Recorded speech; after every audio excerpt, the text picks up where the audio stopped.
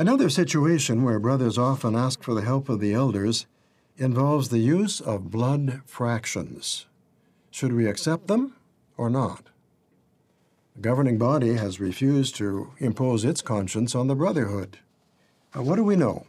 We know that the Bible says to abstain from blood. But as you divide it into fractions, and the fractions get tinier and tinier, at what point does blood stop being blood? Each one will have to decide that for himself. Now, some might say, well, if it's a really, really tiny fraction, it doesn't bother me to take it. But others will say, it doesn't matter to me. If it's from blood, I don't want it. And their conscience also has to be respected. Now, let's illustrate.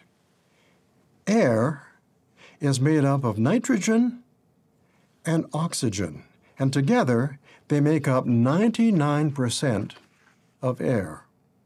That leaves 1%. The 1% is made up of a variety of gases carbon dioxide, hydrogen, neon, small fractions. When it comes to small fractions, elders need to be careful, though, not to insert their personal opinion into the discussion, such as by saying, I wouldn't take any of it. They should simply help the publisher to reason on the basic principles and let him make up his own mind. Now, sometimes medical doctors complain that their witness patients are inconsistent because we don't all have the same view of certain medical treatments. One witness patient accepts certain fractions or therapies, so the doctor figures he knows what Jehovah's Witnesses believe. But then the next patient comes along, and he rejects them all. The doctor is confused. Those doctors don't understand the role of the conscience. We shouldn't worry when medical professionals don't understand our differing viewpoints because uh, we should be glad that we serve a God who dignifies us with the freedom to make many of our own decisions. Many of our own decisions, just not all of them. Just not all of our own decisions when it comes to medical treatment. In the sphere of medical treatment, it turns out that there are some decisions that Jehovah's Witnesses have already had made for them by charlatans like David Splane and his colleagues, who, despite claiming that he doesn't impose his conscience on millions of Jehovah's Witnesses, very much does. The governing body has refused to impose its conscience on the Brotherhood. Now, what do we know? We know that the Bible says to abstain from blood. The Bible says to abstain from eating blood. It says nothing about the medical use of blood. How could it? When blood transfusions only started to be administered in the 19th century, you're imposing a rule while claiming not to impose any rules that not only isn't biblical and couldn't be biblical, because the writers couldn't have foreseen all of this stuff about fractions and even the possibility of using blood in medicine. You're disingenuously doing so while claiming that you refuse to impose your conscience on the Brotherhood, even though you're effectively driving Jehovah's Witnesses to death through this blood prohibition a blood prohibition that makes no sense whatsoever when you expose it to the slightest scrutiny. I've done a video on this, and if Tibor is gracious, a thumbnail will appear. Seven questions for Jehovah's Witnesses on blood transfusions. And if you're watching this as one of Jehovah's Witnesses, especially if you're unclear on blood transfusions and perhaps you're confused about the whole thing, please watch it because there are so many things about this particular teaching, this deadly teaching, that most Jehovah's Witnesses don't know.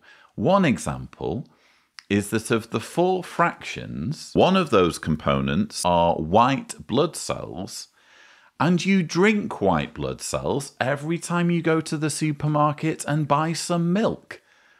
They're the white blood cells of cows that find their way into the milk because the milk is intended not for consumption by humans, but for consumption by baby cows. And human babies, when they've just been born, receive a huge dose of their mother's white blood cells in the form of the breast milk. So, from the moment they're born, Jehovah's Witnesses, due to basic human biology, are transgressing this rule that, according to David Splane, is a hard and fast scriptural command. I'm sorry, biology refutes this time and again. He talks about tiny fractions, and as an example, he describes how 1% of air isn't oxygen or nitrogen. Air is made up of nitrogen and oxygen, and together they make up 99% of air. That leaves 1%. The 1% is made up of a variety of gases carbon dioxide, hydrogen, neon, small fractions. Small fractions within that 1%. Okay. Well, hemoglobin is classed by Jehovah's Witnesses as a fraction, a fraction that they can either accept or refuse. They have that freedom.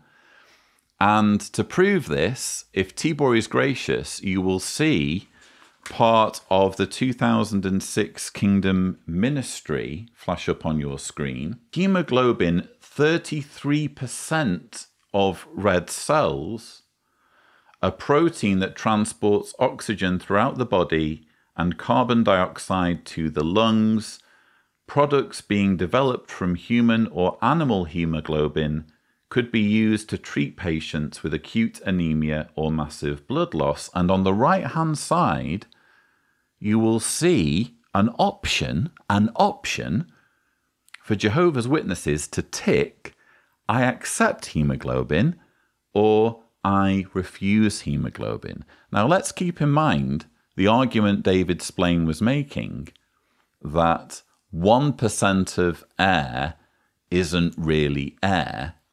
Well, hemoglobin makes up 15% of your blood volume. 15%. It's basically a red blood cell. A red blood cell is like a pellet of hemoglobin with a wrapper. Unlike most cells in your body, the red blood cell has even dispensed with a nucleus through the evolutionary process because it doesn't need one. Its only objective is to act as a little case to transport around this vital protein, hemoglobin, that oxygenates your body, that gives your body the oxygen it needs. Fun fact hemoglobin is the reason your blood is red, because it's a red protein. And yet, this vital substance that oxygenates your body, that makes up 15% of your blood, that is the very reason why blood is red, is classed as a fraction and something that you can accept. Meanwhile, white blood cells are classed as one of the four main components. And even though you literally drink them in cow's milk and babies drink them in their mother's breast milk, white blood cells are banned. It is insane. And it all comes from this decision that was made. Well, obviously, the decision that was made to refuse blood. But at some point in the organization's history, someone decided that the way to separate blood was in a centrifuge. In other words, the way blood responds to centrifugal forces when you spin it in a centrifuge, and the way it separates into layers red blood cells, um, platelets, white blood cells, and plasma might not be in that order, but those are the four components you get when you spin blood in a centrifuge. Someone in the Jehovah's Witness religion folded their arms and said, That's the way we categorize the main components of blood. There's just one small problem. That's not how scientists separate the main components of blood. They don't do it so simplistically as to say, well, how does blood behave when you spin it? As far as professionals are concerned, when we're talking about main components, it's about what do the actual components do? How vital are those components? What role do those components play?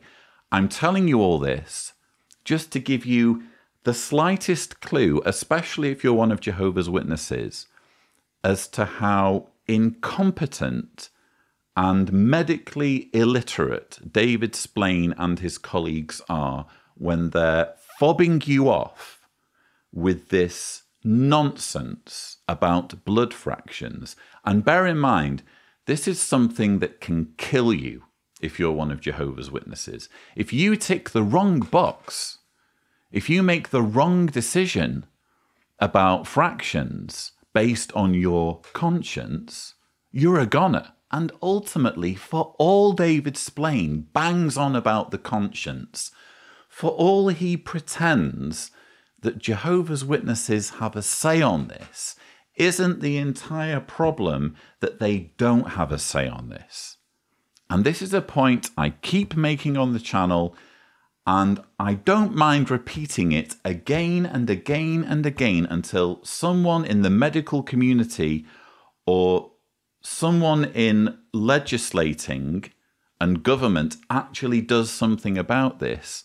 Jehovah's Witnesses get punished if they accept a blood transfusion, if they willingly and unrepentantly accept a blood transfusion according to the Shepherd Book, the manual that elders read.